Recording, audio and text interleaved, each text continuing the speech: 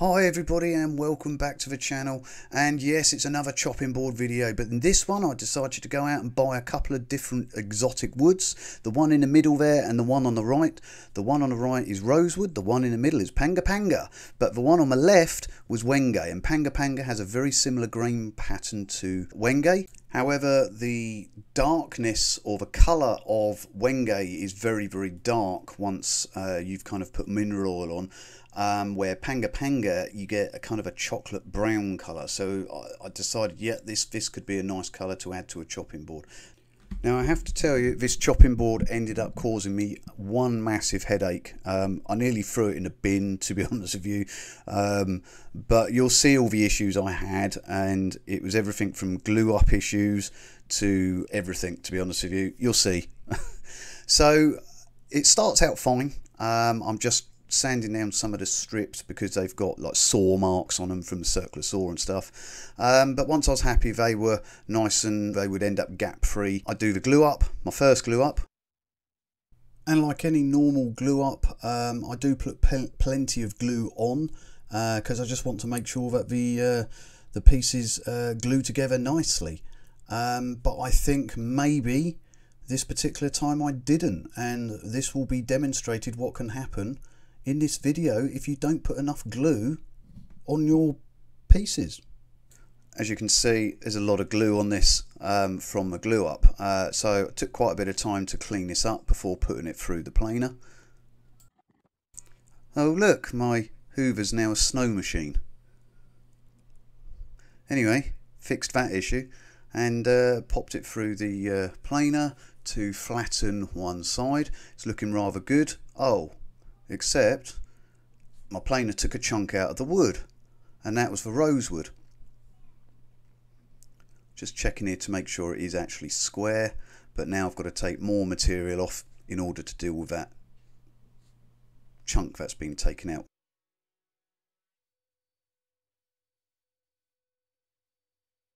So yeah, once the uh, the underside is flat and square, then I just popped it through the thicknesser to uh, flatten it off so it's nice and square both sides.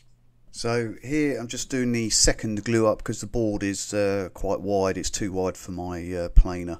Um, I have had, since making this part of the video, I've now since made a um, router jig so I can actually route the top of these instead of uh, doing two glue ups for wider boards. Um, so once I'd cleaned up the glue and that was all ready, it was just a matter of now cutting this into strips. So far so good, right? Well, somewhere along the line I managed to cut one of these that it wasn't a square cut, it was slightly off, which meant I ended up with a piece which was um, thinner than the other bits and you'll see this in a little while. Oh, very important, number up your pieces. Uh, if you mix them up, drop them, move them, get them... it's a nightmare to try and figure out which piece goes where. So here you'll see I'm just now checking the grain pattern, um, just making sure I'm happy that they all line up, uh, which they do, they line up quite nicely, uh, which means I've cut this actually a lot better. And you can see actually it's looking pretty nice. I quite like this pattern. Um, similar pattern to the other chopping board I did. It's pretty much the identical way, but the woods really makes a difference. And that's the piece there. You can see it's got a little lip. Now that's a problem. This is where all my problems started. So I had to put this through the planer again, these pieces, because um, that one piece was too small. The planer broke this piece off at the Panga Panga and then it broke another piece and it also chewed the hell out of that other little piece. So now I've got a chopping board that's falling apart. So I thought, okay, let's clean the glue up and re-glue these. And it's at this point I checked it, the internet to make sure this wood is actually good for gluing up. But you can see now it's getting worse. I, I ended up with four pieces falling apart. All the glue between the Panga Panga and um, the Padauk. So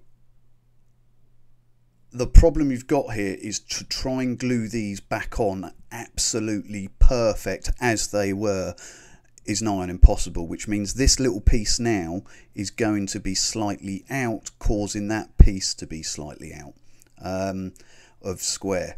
But I had to fix it, I had to do something with it, but there you see four pieces. And then once they'd glued up, testing the strength to make sure the glue joint is good. So at this point, I'm thinking it was me, not the wood. Um, maybe my first glue up joint wasn't very good, uh, but now it seems pretty strong. So there's the four pieces. And the next day, oh, another piece. So I had five pieces, so I had to re-glue this piece up. Then I had to re-flatten these all back so they were completely square. But then it took a chunk out the end of it. So now I've got chunks missing. But I thought I've got to get these through the planer. I've, I've got no other option to get them nice and square. So there we go. It's not a big issue. I can just chop a little bit off the edges. I'm going to be rounding these over anyway, these edges, and I just need to shave off a few millimetres. However, I still had two sides of this which wasn't square and I needed to put these through the thicknesser to get them square, which meant end grain going through a planer. But what's the worst that can happen with that, eh? I mean, you know, take a smidgen off each time, just a 0.2 of a millimetre or something. Just take it easy and everything should work out pretty good. So I did that Oh my word, what's going on now? It looks like my dog's been chewing my board. Oh my god, yeah, that's what happens. It's called tear out. but don't worry, it's okay, because I was thinking to myself, when I got one lot of tear out, I thought, you know what, I may as well put the rest of them through because I've got to cut these to width anyway and chop a bit off. So a little bit of a waste of material. The chopping board's a little bit thinner than I originally planned, but it's still going to be a good chopping board.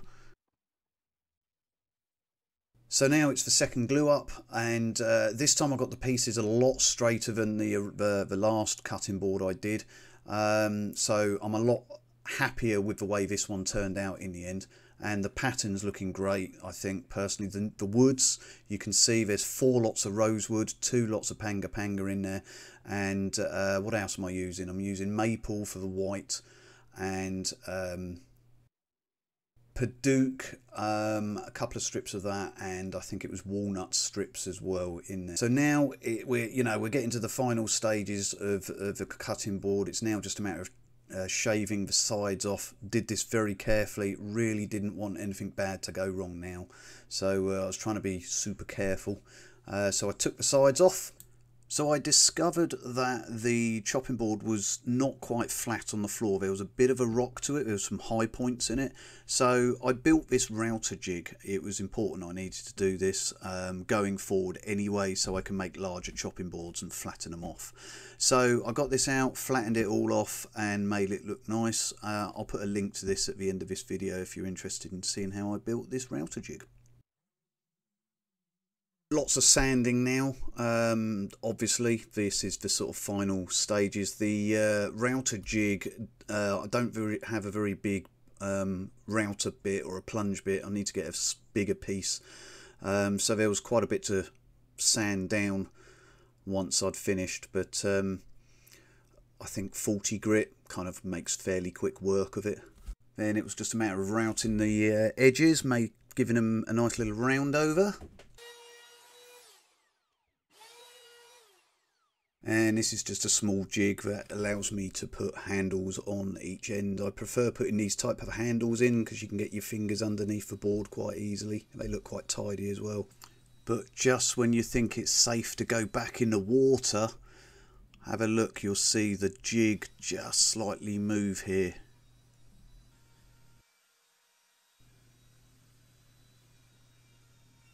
There. Is in slow-mo. There.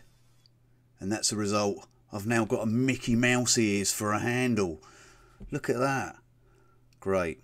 Okay, it's not a big deal. I just have to make the handles a, a little bit bigger than my jig. Um, it's a bit of a pain because you've kind of got to route a bit out, move the jig about, route a bit out, move the jig about, because uh, I don't have a jig bigger than that jig to just make a bigger handle. But anyway I did it. I got through that bit. Slightly larger handles on this. It's slightly thinner than I originally anticipated.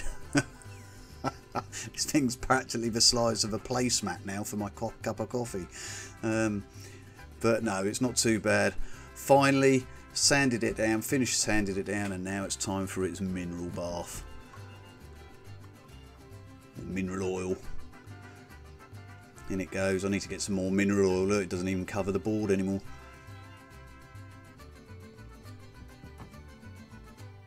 Yeah, look at that. I love the Panga Panga. It's kind of green actually. It looks more green than uh, in this picture at least anyway. In this uh, part of the video, sorry. Also the uh, rosewood turned out absolutely gorgeous. Can see myself uh, using this way more going forward.